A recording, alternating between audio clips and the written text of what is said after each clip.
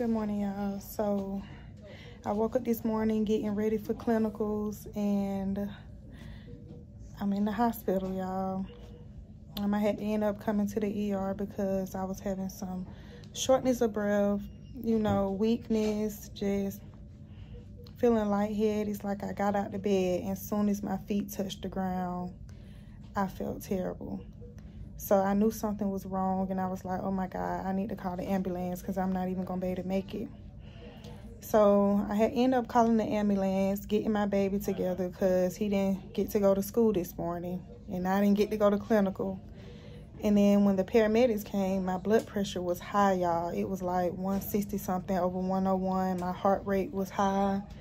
They got me hooked up to all these monitors and I'm just waiting on my blood work to see what's going on, y'all. But when I say I've been going through so much, but my faith is strong in God.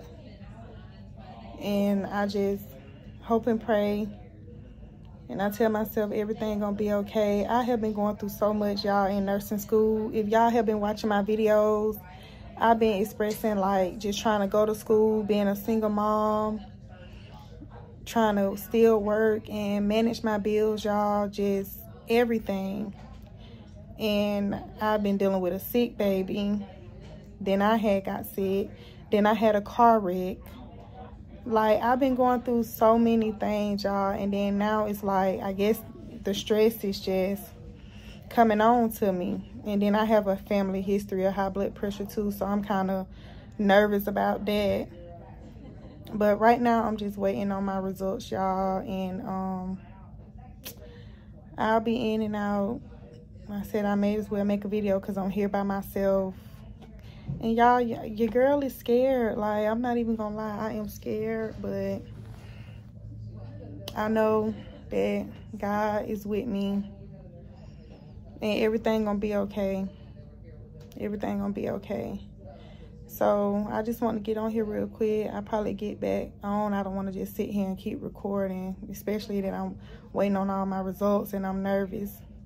They just took me for a chest x-ray too, just because I was having some um, chest pain and shortness of breath. So they're going to check my heart and my lungs and everything. So yeah, y'all, that's what's going on right now. Um, I'll be back in in a little bit. So y'all, I'm back. Y'all bear with me with the lightning. They came in and turned the lights down just because I was catching a slight headache. But basically thank God, all praise to God. My lab works came back good. No heart disease or no nothing, no blood clots, nothing found in my chest or nothing like that, y'all. Because they had to do the works because they were trying to figure out what was going on.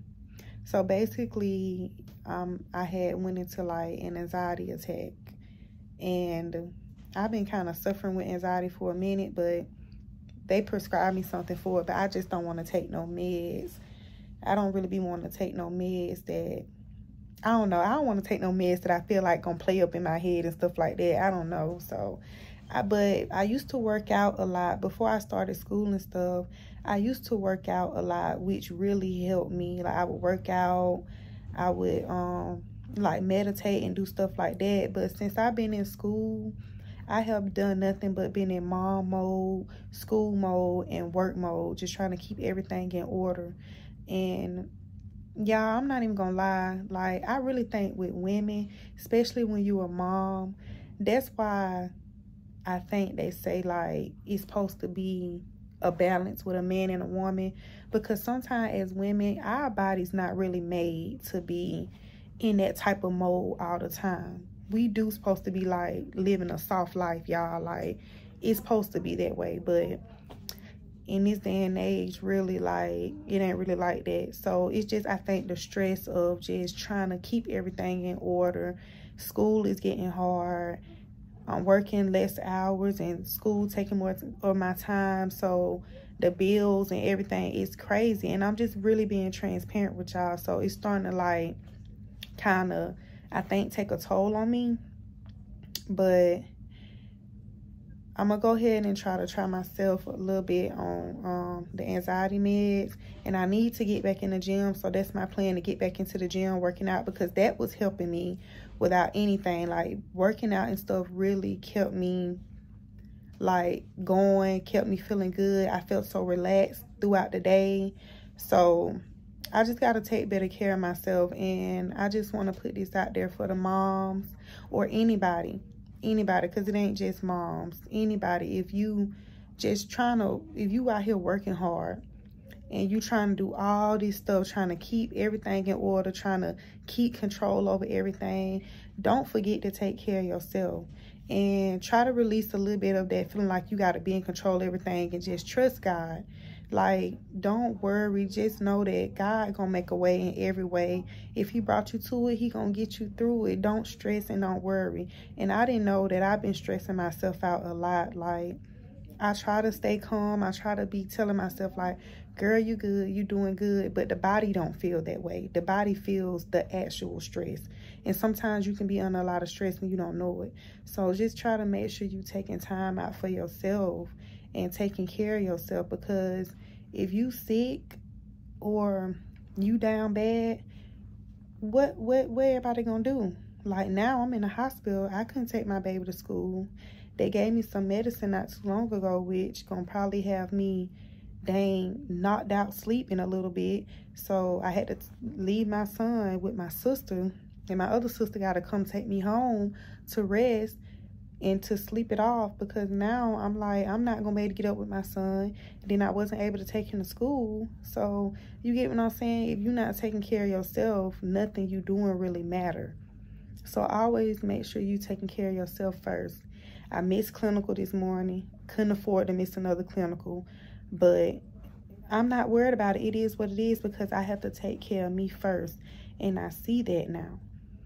So I just want to get on here real quick and make this video this morning and let y'all know what's been going on with your girl. But y'all keep me in y'all prayers. Just pray for me and God got me. I'm going to get through this. I just know now I need to take it easy and make sure I'm back working out, eating right, drinking a lot of fluids, and taking care of myself. But I was scared, y'all, because high blood pressure runs in my family so bad. Like I had high blood pressure when I was pregnant which sent me into something called toxemia. It was terrible. So when my blood pressure was that high, your girl was scared. I'm like, no, the family curse is catching up to me. But I got time right now to start eating right, getting myself together, and just keeping my anxiety in order. So I hopefully won't get to that level. But thank y'all so much, y'all. Like I said, keep me in y'all prayers, and I will talk to y'all soon.